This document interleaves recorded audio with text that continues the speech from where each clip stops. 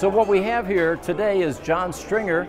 He is with the Tesla takeover in the U.S. You've done how many now in the U.S.? Uh, three. We're having our fourth one in July 27th through the 28th. Oh, it is. It's that soon. I did not Yeah. realize that. Yeah, yeah. What uh, what guest speakers do you have at this so one? this year we have uh, Franz von Holzhausen. Franz is going to be yeah, there. Okay. the chief designer of, Yeah. Tesla. Tesla. He designed all the way from the Model S to the Cybertruck. And then um, the other keynote speaker is Jared Isaacman. He's a billionaire astronaut. He uh, did Inspiration 4, which was the first private citizen um, space flight ever to the like you know orbit the Earth. Because we're also going to be doing some SpaceX, and then we have um, like Kim Java and some other uh, amazing other influencers as well. So, um, those, but those are the two keynote ones we have this year. So your take on this event here, did it exceed expectations?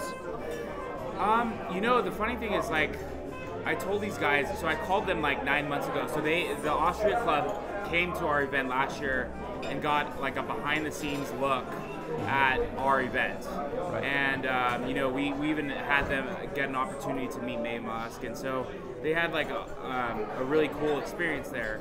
And so, you know, obviously, like when I called them, like in my head, knowing that Europe is landlocked, I mean, Yeah. you can get here, like in California. I mean, you you know, you live in um, Arizona, but it's like, you know, you drive through California, it's like it could take you 12 hours from top Right. to bottom. Here, you can go through 15 countries. I'm kind of exaggerating here, Yeah, but you know, you you know, everyone, eh, you know, um, it's just easier to get around. And one thing I'll say, Europeans know how to just have a work-life balance. I mean, they're well, they vacation well. I mean, what every August they're just off that whole month, um, and so like. You know, you see a lot of the people here. You know, they're um, all a, a little older, and so they just have time to travel and do those things, right? Right. And so um, I knew, I told them, so to get to the point, I told these guys, I think this event's going to be bigger than ours in a couple years. Really? Like, okay. yeah, yeah, yeah. So I haven't talked to them yet about, you know, are they going to do it next year? We wanted to just give it one year. Yeah. And we're still like half, only halfway through uh, the the event. We have the Cybertruck coming tomorrow. Um, but um, again, this is. I mean, you, you guys saw it today. I mean, it was a thousand people, uh, and the Austrians. These guys run an amazing production. And I came here two, I came to this location two years ago to a silence rally, um, an event, and they just killed it. Like the execution here Really? just crazy. So I built a very strong relationship with them. Uh, over, I met them in 2019 at the owner, the President Owner Summit in LA for Tesla presidents, uh, for Owners Club presidents and uh, met them then. They invited me about two years ago, hosted me and my son here. And honestly, it's just, um, you know, I, th- I really think that if they want to, you know, we could continue to make this something special. you know? One of the things I noticed as I was walking around the event for the Yeah. last you know day or two, um, there's such a strong passion here, which uh, is palpable. Yeah. And like you said, the variety. I met the Netherland Club today, and then um, one of the Italian owners let me drive his Roadster, for Yeah, example. Yeah. So um, yeah, there's a strong international faction here. Yes. And I think, like you, this has the potential to scale bigger than Yeah. what we're doing in the United States. Yeah, yeah. Well, here too, it's like, um, I mean, in the United States, clubs all kind of run differently and stuff, but the European clubs run um, a lot different and more well organized here in the U- U.S. Um, and so I can go to any country in the in the Europe and I can call up the president and meet up with him and meet with other like-minded people, and they're fairly well organized, you know, the clubs. And so, whereas the states, I mean, you know, even Arizona, some of those clubs are just duds, right? Like they just aren't operating. Some of them are starting. Um, even in California, I mean, um, there's a lot. All the clubs are great, but there's some that are actually doing like really cool things. You know, like our club being one of them. Right. Um, and then other clubs that are just not doing anything. So it kind of just it just depends. Do you think, and I gotta, I'm gonna deviate a bit here. Yeah, sure. You, you've talked to Elon. I've Yeah. talked to Elon. Yeah. Do you think that he had any sense that this EV revolution was going to take off like it did? I don't think he. I mean, he. I don't think he thought that Tesla was going to, to succeed. Right? He thought it maybe had like a 10% probability of succeeding. I think he thought this company was going to fail. Um, but the, insane thing is he had the vision of what is possible, like building, starting the supercharger network back in right. 2012, and it, it, being the next gas station. Um, so I think he definitely probably thought about it more from, uh, you know, how do we make EVs happen, and what's the roadmap, and what are the biggest barriers. So I think he had probably more of the vision of like, you know, from a product standpoint. But I mean, I think it's still he's still uh, blown away by you know what he's what Tesla and he have accomplished. Yeah. You know? I tend to agree with you there. I think it's very difficult. Um, people like him usually take things one step at a time, yep. and there is a vision that you know is the goalpost. However, you've got so many transitions in between that uh, you know tend to sometimes um, set you off track. Yes. And um, I, I would be surprised if he ever were to admit and say, "Oh, I knew it was going to be this big all along." No, I mean, um, I'm, I'm, not sure if you've uh, most recently covered this, but you know, there's a big vote happening on yes. June uh, June 14th. Is compensation plan. Um, you know, at the end of the day, a deal is a deal. In 2018, we voted to with over 75% votes to give him a insane paid package that was not going to be attainable. Like nobody in their right mind thought that this company would become the largest automotive company in the world. And obviously they're they're more than that now uh, with AI and robotics. But no one thought that, that was going to happen. And now he this guy hasn't been paid. You know, you're literally removing his pay. And Sure, he owns you know what 14% of the company but to to literally take this guy was sleeping on the freaking factory floor um, and you know he would say what over 50 to 60 percent of all of the pain in his whole life has been because of Tesla. Like this was all before all this stuff like it's happened.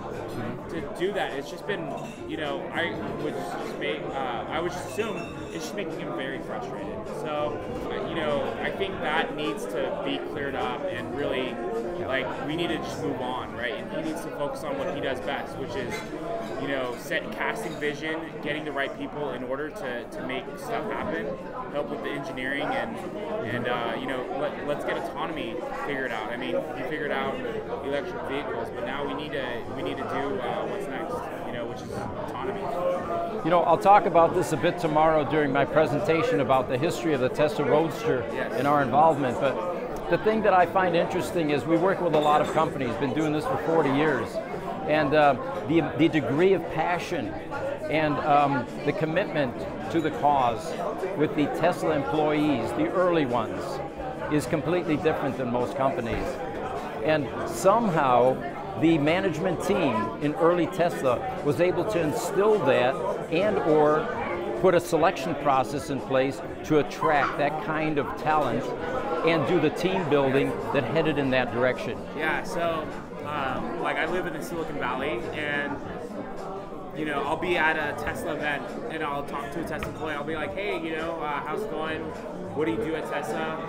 And you know, like, um, you either look them up on LinkedIn or you ask them where do they go to college, and they all are Harvard, Yale, Princeton, Stanford, Berkeley, UCLA.